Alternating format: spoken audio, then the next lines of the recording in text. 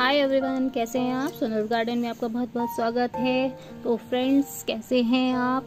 उम्मीद करती हूँ कि आप सभी बहुत अच्छे से होंगे और अपने घर में सेफ़ होंगे। तो फ्रेंड्स आज मेरा टॉपिक जो है मल्चिंग को लेकर के है, क्योंकि इस समय गर्मी बहुत हो रही है टेम्परेचर काफ़ी बढ़ गया है।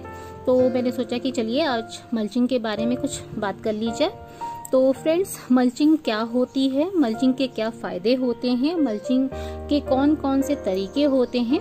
आज इस टॉपिक को लेकर मैंने सोचा कि आपसे शेयर कर लूँ और डिस्कस कर लूँ। तो चलिए फ्रेंड्स स्टार्ट करते हैं। तो फ्रेंड्स ये देखिए हमारे मल्चिंग के कई तरीके होते हैं। मल्चिंग होती क्या है? पहले तो ये समझ लेते हैं। मल्चिंग फ्रेंड है? मल्चिंग ये होती है कि आप जो है ऊपरी सतह को गर्म से बचाएँ ड्राई होने से बचाएँ। और जो इसके अंदर माइक्रोब्स नेचुरल होते हैं वो भी गर्म की वजह से मर जाते हैं ताकि उसमें फर्टिलाइज़र जो एक नेचुरल तरीके से मिलती रहती है पेड़ों को तो वो भी नष्ट हो जाती है गर्म ज़्यादा। अगर मिट्टी उसकी सतह ड्राई हो जाती है। जैसे कि केचुआ वगैरह हैं, वो ठंड में, नमी में रहना पसंद करते हैं। तो जब फ्रेंड्स इसमें जब आपकी मिट्टी ड्राई हो जाएगी, आप नेट भी लगा लेते हैं, मगर टेम्परेचर इतना ज़्यादा बढ़ जाता है कि अगर हम इसका उपाय ना करें तो बिल्कुल ऊपर सतह जो है बिल्कुल सूख जाती है।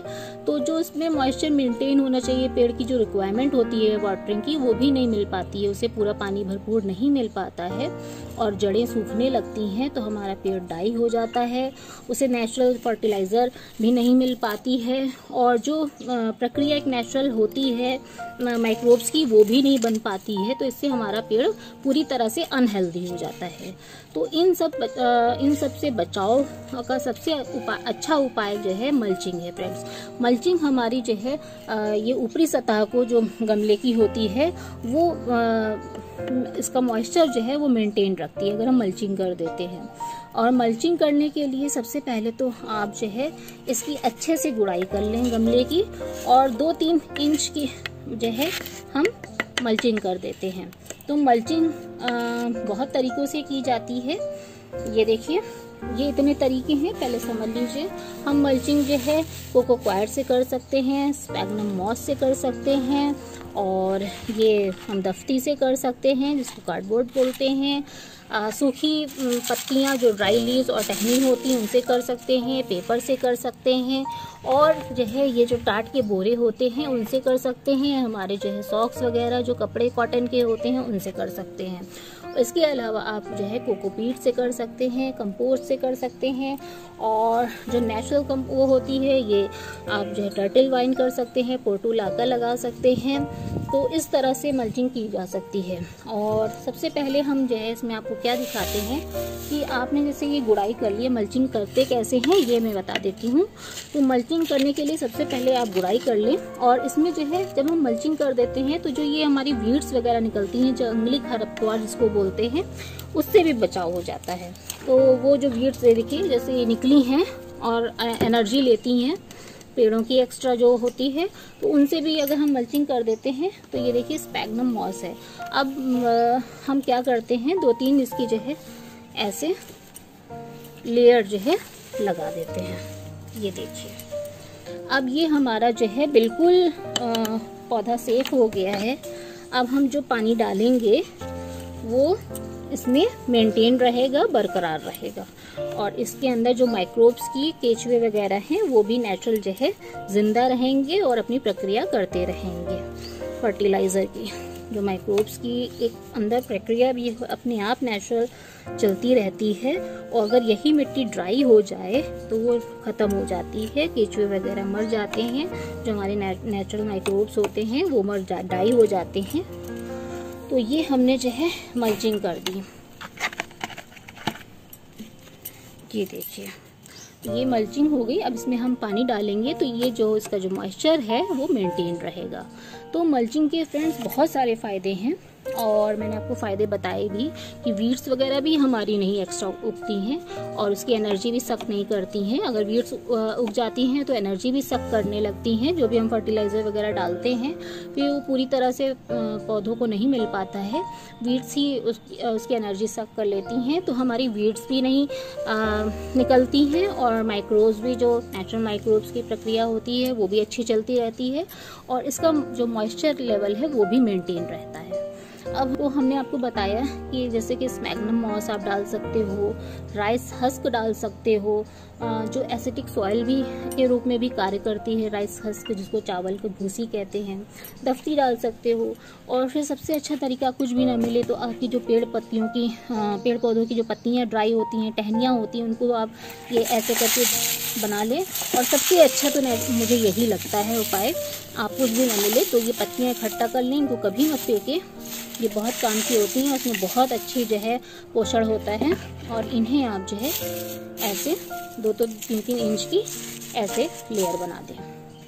और इसके बाद मल्चिंग भी दो प्रकार की होती है। एक ऑर्गेनिक तरीके से हम लोग करते हैं, एक इनऑर्गेनिक तरीके से करते हैं। इनऑर्गेनिक में जैसे कि हमने ये सॉक्स ले लिए ये सॉक्स ले लिए और अगर आपके पास कुछ भी नहीं है तो आप सॉक्स ले लीजिए और इनको इस तरह से कवर कर दीजिए।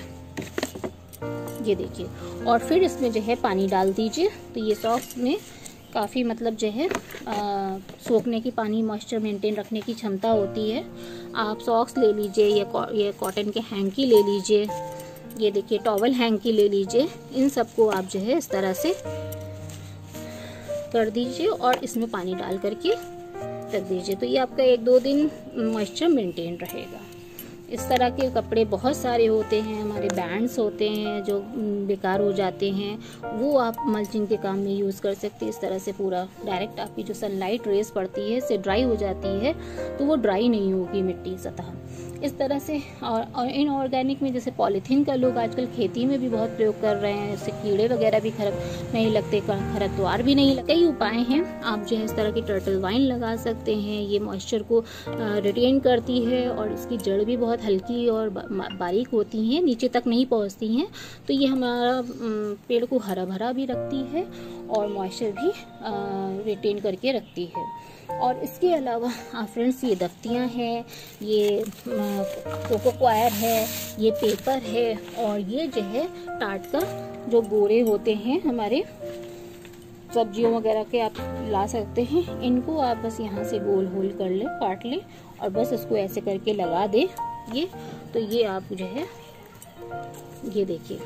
इस तरह से आप गमले में जो है अच्छे से लगा दें और पानी भर दें। तो ये भी एक बहुत अच्छा तरीका है मल्चिंग का।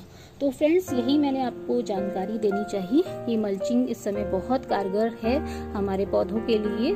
गर्मियों में जब टेम्परेचर हाई हो जाता है और इसके कई फ़ायदे भी हैं और ये बहुत ही आसानी से की जा सकती है और हम हम अपने गर्मियों में भी पौधों को आराम से बचा सकते हैं बिना मेहनत।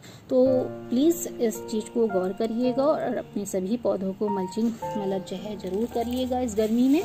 और मैं आपको कुछ जो है एग्ज़ाम्पल भी दिखा देती हूँ। फिर मैंने जो है टर्टल वाइन की दूसरी प्रजाति रखी है, क्योंकि इसको जो है मॉइस्चर इस पौधे को चाहिए। तो मैंने ये अभी लगा दी है, और जहाँ सर्दी आएँगी तो मैं इसे हटा दूँगी। तो आप इससे जो है इस तरह से बचाव कर सकते हैं गर्मियों से। तो इस फ्रेंड्स आपको मैंने मल्चिंग के बारे में ज़्यादातर करके सभी चीज़ें बता दी हैं। और उम्मीद करती हूँ कि आपको मेरा वीडियो पसंद आया होगा। अगर पसंद आए तो प्लीज़ लाइक कर दीजिएगा मेरे चैनल को सब्सक्राइब कर दीजिएगा मेरे चैनल को और आइकन बटन पर प्रेस ज़रूर कर दीजिएगा ताकि नोटिफिकेशन आपको लगातार मिलती रहे। तो फ्रेंड्स इसी के साथ मैं चलती हूँ, फिर आपसे मिलती हूँ कुछ नया लेकर, कुछ नए टॉपिक के साथ। Okay bye bye take care happy gardening